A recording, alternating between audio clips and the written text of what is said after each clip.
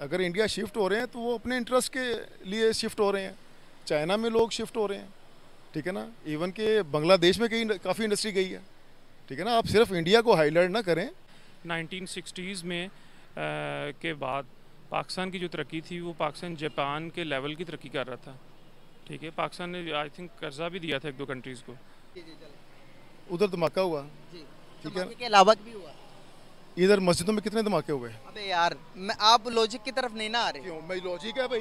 धमाके के अलावा की बात कर रहा हूँ मैं। धमाका हुआ है। हाँ जी। धमाका हुआ है। उसके अलावा की बात कर रहा हूँ मैं। अब चले मुझे एक सवाल। हम हम एज अ मुस्लिम जो है ना हमें हमें अपने दीन को प्रमोट करना चाहिए। अल्हम्दुलिल्लाह। मैं कभी भी नहीं चाहूँगा कि मंदिर बने।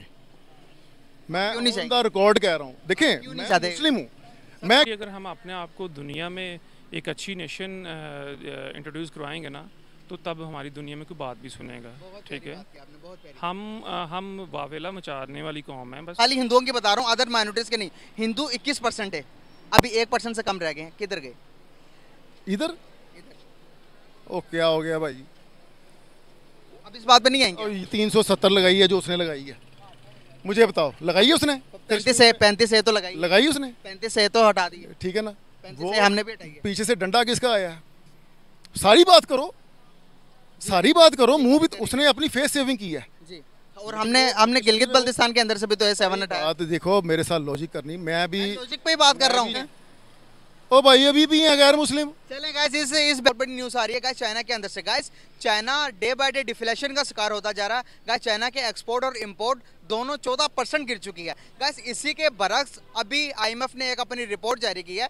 गाइस उस रिपोर्ट के मुताबिक 2027 में इंडिया दुनिया की तीसरी बड़ी मीशत बन जाएगी। तीसरी बड़ी मीशत बनकर दुनिया में उभरेगी। गाइस पाकिस्तानी पब्लिक से जाकर पूछूँगा कि हम आईएमएफ से चाइना से और पूरी दुनिया से इमदाद लेते फिर रहे हैं और इंडिया की यहाँ पर जंग चल रही है। इंडिया की यहाँ पर रेस चल रही है कि वो इकोनॉमिकल सुपर पावर बनने जा रही है। तीसरी बड़ी इकोनॉमी गाइस तीसरी बड़ी इकोनॉमी का मतलब पता है आपको कि पूरी दुनिया को डिक्टेट करना। गाइस इंडिया इस जंग में लड़ रहा है और हम कहाँ हैं? अभी आईएमएफ से 10 बिलियन डॉलर हमने कर्जा लिया हुआ और वहीं आईएमएफ बता रहा है कि इंडिया 2027 के अंदर तीसरी बड़ी मैशत बनने जा रहा है। So, इन्हीं सारे सवाल का जवाब दूँगा। क्या वजूहत है कि हम डेवलप नहीं हो रहा? आपको चाइना के जो एक्सपोर्ट इम्पोर्ट थे वो चौदह परसेंट गिर चुके हैं।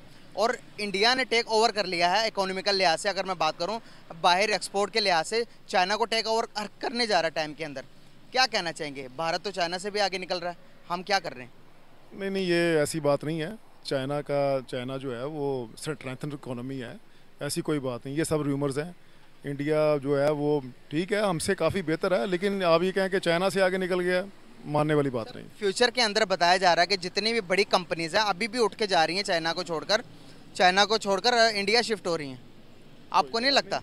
आपको नहीं लगता कहीं ना कहीं आप देखें कहीं ना कहीं आप आपके मुल्क में हालात बेहतर होंगे तो इंडिया से इंशाल्लाह इधर आएँगे लोग। लेकिन हालात भी तो बेहतर हों ठीक है ना?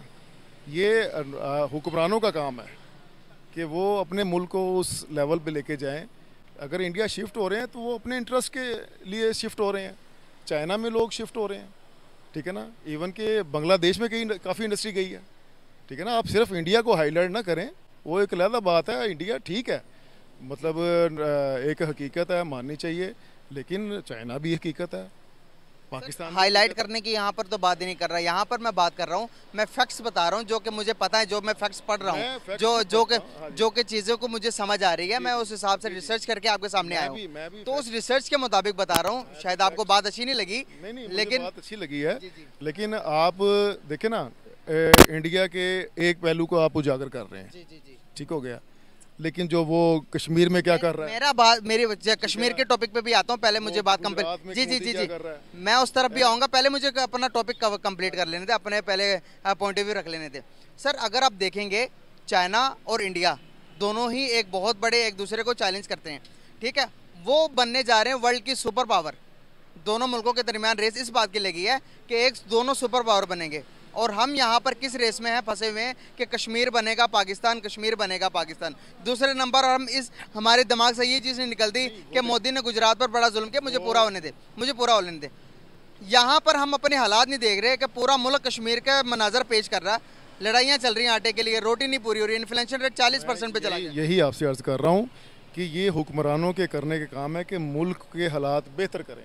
में है कि वाकई नहीं जो उसने मुसलमानों पे और दूसरी जो अकलीतों पे उसने जुल्म किया है और हो रहा है। और हो रहा है स्टिल हो रहा है। ठीक है ना? हम यहाँ पर पिटते रहेंगे रोते रहेंगे कुछ भी फ़र्क नहीं पड़ने वाला। मैं आपको एक बात बताता हूँ फैक्ट एंड फिगर्स पे बात करते हैं अंकल। एक, चीज़। मैं बताता हूँ आपको एक चीज़ में मैं हम फैक्ट एंड फिगर्स पे बात करते हैं। सर एक मिनट ना सुन लेना। हम फैक्ट एंड फिगर्स पे बात करते हैं अगर वहाँ पर इतना ही जुल्म होता दुनिया की पांचवी बड़ी मैशत बनती अगर वहाँ पर इतना बड़ा जुल्म होता तो क्या एप्पल गूगल इतने बड़े बड़े स्टोर्स वहाँ पर जाकर खुलते? एम कंपनी आपके मुस्लिम देश की जो सऊदी अरेबिया और यूएई सारी कंट्री जाकर कश्मीर में जाकर इन्वेस्टमेंट करती है अपनी। एम कंपनी कितनी बड़ी है? एशिया का सबसे बड़ा वहाँ पर मॉल बनने जा रहा है। सर हम यहाँ पर पिट रहे हैं वो तो हमसे ज़्यादा अच्छे मुसलमान उनके साथ रिलेशन बेहतर कर रहे हैं। मेरी मेरी बात सुने मेरी बात सुने ये जितनी भी ये आप कह रहे हैं कि उनके साथ रिलेशनिंग हो रही है दूसरे कंट्रीज़ की वो अपनी इंडस्ट्री वहाँ लेके जा रहे हैं ठीक है ना? वो सब उनके अपने मफादात हैं। मेरी बात समझ रहे हैं? और हमारे मफादात। ठीक है ना? वो उनके मफादात हैं उनके साथ। बहुत बड़ी वो मार्केट है। तो हमारे मफादात किसमें? इंडिया जो है वो बहुत बड़ी मार्केट है। वो मार्केट कैप्चर करने जा रहे हैं। ठीक है ना? हर बंदे की ख्वाहिश होती है कि मैं जो चीज़ प्रोडक्ट बनाऊँ जो। जिस चीज़ का बिज़नेस करूँ वो फ्लरिश करे। सर हमारे मफादात किसमें? जी? हमारे मफादात किसमें? देखिए जी हमारे मफादात इसी में हैं जो पूरी दुनिया में जिसका मफाद है। हर हर हर कंट्री कहता है मेरी इकोनॉमी बेहतर हो। इकोनॉमी बेहतर होगी उसमें हमारा मफाद है। अवाम के हालात बेहतर होंगे ठीक है ना? आपकी एजुकेशन बेहतर होगी मेडिकल बेहतर होगा। इकोनॉमी के साथ है ना? इकोनॉमी पे हमारे हुक्मरानों ने वो काम ही नहीं किया वो करना चाहिए। बिल्कुल सीरियसली जो है ना अब जो है ना कोई स्टेप्स लेने चाहिए कि जो है ना कि हमें जो है ना इन चक्रों से सी सीटों के चक्रों से सीटों की लड़ाइयों से के हालात के बारे में अवाम को भी निकलना चाहिए इन चीज़ों से कि अवाम को भी सोच बदलने की ज़रूरत समझना चाहिए कि ये एक ही चेहरे बार बार बदल के जो है ना ये आते हैं। कुर्सी के यहाँ पर अवाम को भी सोचने की ज़रूरत है। अवाम की भी सोच बदलने की ज़रूरत है। मैं मैं सुप्रीम कोर्ट ने आपको ऑर्डर दे दिए मेरी बात सुने आप मुसलमान हैं? अल्हम्दुलिल्लाह। देखो ये बड़ा अच्छा जवाब लगा आपका। देखो हम हम एज अ मुस्लिम जो है ना हमें हमें अपने दीन को प्रमोट करना चाहिए। अल्हम्दुलिल्लाह। मैं कभी भी नहीं चाहूँगा कि मंदिर बने। मैं रिकॉर्ड कह रहा हूँ। देखें मैं मुस्लिम हूँ। मैं क्यों हमारा हमारा दिन हमारा दिन हमारा दिन हमारा दिन ये थोड़ी कहता। उस sense कि में नहीं अगर? मैं कह रहा हूँ कि एक जगह ऐसी कि जिससे मतलब कम्युनिटी में फसाद फैले ठीक है ना?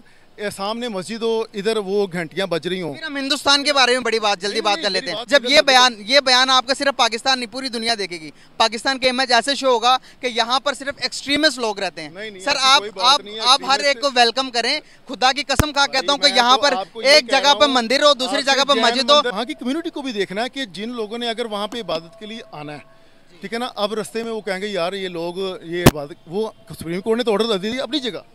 लेकिन हमने ये देखना फसाद पैदा ना हो। ठीक है ना? लेकिन एक चीज़ पहली बनी हुई है आप देखें कौन सा तोड़ा है? कोई नहीं तोड़ा यार। यहाँ प्रिजर्व कर रहे हैं। कराची में दो मंदिर तोड़े हैं। रिसेंट की कहानी है। सर बाबरी मस्जिद पे डिस्कस करो ना फिर भैया। बाबरी मस्जिद पे आ जाए तो गुजरात में जो मस्जिदें हैं जो लोगों को जो- वो भी डिस्कस करो ना। आ जाए उस पे ठीक है ना? हाजी अब अगर आपने आ जाए आप इस वक्त पाक सर ज़मीन पे खड़े हैं हाँ हैं आप इस आप इसके भी तो देखे ना हमने आ लिए क्रिश्चियंस के साथ हम कैसे जा रहे हैं उनका कोई चर्च तोड़ा आज तक? एक बात बताऊँ आपको जो वाकया हुआ यूनाबाद योहानाबाद के अंदर मैं साथ ही रहता हूँ वहाँ पे। यूनाबाद के अंदर कितने सिखों को मार दिया गया? ईद के मौके के ऊपर। मैं आपको विद प्रूफ दिखा सकता हूँ या ये कहेंगे ईसाइयों को। ईद के मौके के ऊपर कितने ईसाइयों को हलाक किया गया? मेरे नज़रों के सामने। बम धमाका हुआ था। हाँ जी। बम धमाके के अलावा भी मजहबी इंतशार की वजह से भी। सर देखें कीड़े बहुत हैं हमारी तरफ़ भी हैं। अब सियालकोट के अंदर सियालकोट तो के अंदर सियालकोट के अंदर क्या हुआ? इसका इसका जवाब तो ले लो। उधर धमाका हुआ। ठीक है। के अलावा भी हुआ। इधर मस्जिदों में कितने धमाके हुए अबे यार मैं आप लॉजिक की तरफ़ नहीं ना आ रहे। क्यों? मैं लॉजिक है भाई। धमाके के अलावा की बात कर रहा हूँ धमाका हुआ है। हाँ जी। धमाका हुआ है। उसके अलावा की बात कर रहा हूँ मैं। अब चले मुझे एक सवाल। अब इसका इसको बहस को खत्म करते बहस को खत्म मसला कर बहस को खत्म करते मेरे सवाल का जवाब दे दीजिएगा। बहस को खत्म करते मेरे सवाल का जवाब दें। जब पाकिस्तान आज़ाद हुआ था तब हिंद खाली हिंदुओं की बता रहा हूँ अदर माइनॉरिटीज़ के नहीं। हिंदू 21 परसेंट है। अभी एक परसेंट से कम रह गए हैं। किधर गए? इधर ओ क्या हो गया भाई? अब इस बात पे नहीं आएँगे? ओ यार मैं क्यों? मैं मैंने मेरा क्या कह रहा हूँ मैं? मैं भागा हूँ? जी जी जी यार आपके पास फैक्ट्स Conversation बहुत अच्छी। है। ना जी, जी। वो आपके मुकम्मल नहीं है। आप देखें कौन सा माइग्रेट करके गया है? बल्कि मुसलमान थोड़े दिन पहले गई है इंडिया हमारी मुसलमान गई है? बच्चे लेके? चली गई है? मैं आपको बता रहा रहे हूँ उस बात पे नहीं आ रहे आप। मैं तो मैं फैक्ट्स पे बात कर किया भाई हिंदू? मैं जाने की बात ही नहीं कर रहा यार। मैं पूछ रहा हूँ अभी आ जब है ये आपने चलाना है। मैं चलाऊँगा इसे। बार कह रहे हैं चलाना है। चलाऊँगा सर। ठीक है। मैं आपको भी दिखाऊँगा। जब पाकिस्तान आज़ाद हुआ था है? पाकिस्तान आज़ाद हुआ था। है। आ रही है। आ रही है। आ रही है। आप देखिएगा इसमें सारी कम्युनिटीज केक काटेंगी। काटेंगे, काटेंगे। सिख भी काटेंगे सारे काटेंगे सारे काटेंगे। मेरा सवाल फिर वहीं पे है। पाकिस्तान जब आज़ाद हुआ था तो देखिए, 21 परसेंट थे हिंदू कहाँ गए? ने जो है वो कौन सी 370 लगाई है जो उसने लगाई है? मुझे बताओ लगाई है उसने? पैंतीस से पैंतीस से तो लगाई लगाई उसने? पैंतीस से तो हटा दी ठीक है ना? से हमने भी पीछे से डंडा किसका आया? है सारी बात करो। सारी बात करो मुँह भी तो उसने अपनी फेस सेविंग की है। और हमने हमने गिलगित बल्तिस्तान के अंदर से भी तो है सेवन हटाया बात देखो मेरे साथ लॉजिक करनी। मैं भी लॉजिक पे ही बात कर रहा हूँ। यकीन करो ज़मीन से जो है ना निकल के नहीं आया। इसी माशरे में रह रहा हूँ। मैं भी इसी माशरे में रह रहा हूँ। मैं आपको बता रहा हूँ हमें तीन सौ पचहत्तर तीन सौ सत्तर पे बड़ा दुख हुआ। और गिलगित बल्तिस्तान में भी तो ये यूनियन यूएन का रेजोल्यूशन के मुताबिक कहते पैंतीस ए को नहीं हटाना था। पैंतीस को हटाकर हम जमीनें तो सारी खरीद रहे हैं। तो इंडिया ने कर लिया तो हम वाबला बचा रहे हैं। बल्तिस्तान आपका हिस्सा नहीं है। हमारा हिस्सा। तो फिर? तो हिंदुस्तान को वो अपना हिस्सा मानता है। वो मानता नहीं है वो कब्जा किया। भाई यार ना करो ऐसे बात ना करो यार। ये वो भी समझता है ये सारी दुनिया समझती है कि उसको आज तक मकबूजा कश्मीर क्यों कहते हैं यार? चले मकबूजा कश्मीर की बात कर लेते हम नहीं कहते अब यूएन के जो है ना वो उसके उसके आप इजलास उठा के देख लें कि वहाँ पे दूसरे ममालिक ने उनके सरबराहान ने कहा है कि इंडिया को नहीं करना चाहिए ऐसे। नहीं कहा?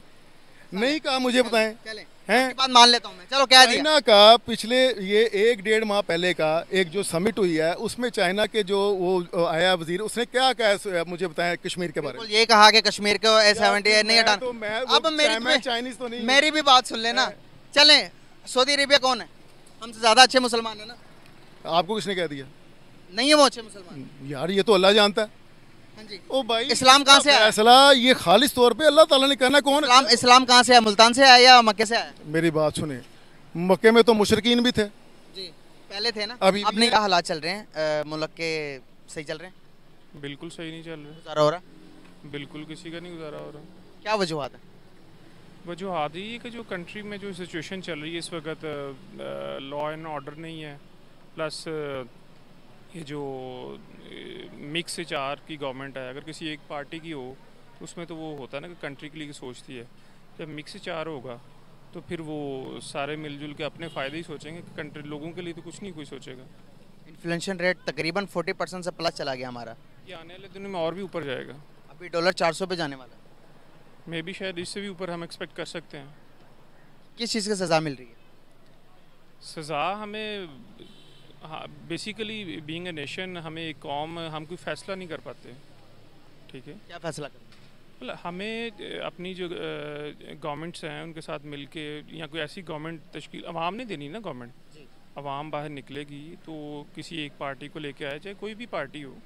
अब ये मिक्स चार के लिए अवाम को बाहर निकलना चाहिए था जिस पे नहीं होना चाहिए था। हम 9 मई के वाक़े के बाद पुलिस ने दो डंडे के हमारे आवाम सारी घर पर बैठ गई। हम कहते हैं, इनकलाब लेके आएँगे। हम कहते हैं कि कश्मीर फतह करेंगे। इन हालात के अंदर जहाँ पर हमारे अपने मुल्क के हालात हमसे संभाले नहीं जा रहे, क्या कश्मीर को हम फतह कर सकते हैं? या कश्मीर लेने के बाद जो हम करते हैं, ये सच है? कश्मीर तो किसी ने भी नहीं लेना, ये तो बस लॉलीपॉप दिया हुआ है हमारी कौम को बस।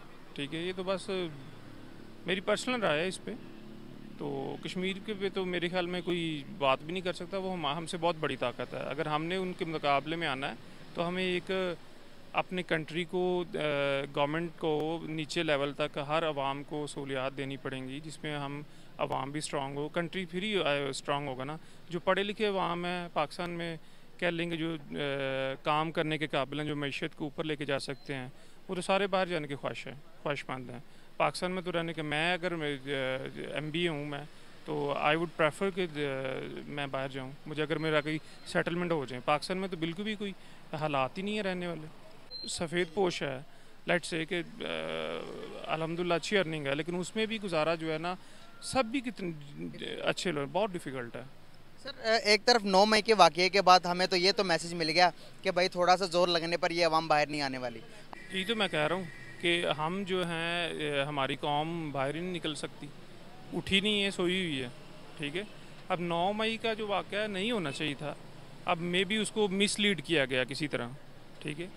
वो इन एक्चुअल ऐसा नहीं है जैसा वो हुआ बताया जा, जा, जा रहा है। आपको एक बहुत बड़ी न्यूज़ देता चाहूँ जो इकोनॉमी है इस टाइम इकोनॉमी चाइना के इन्फ्लेशन रेट तेज़ी से बढ़ रहा है। डिक्रीज हो रहा सॉरी और उसकी नस्बत अगर हम देखें इकोनॉमी इंडिया की बूस्ट करते हुए नज़र आ रही है।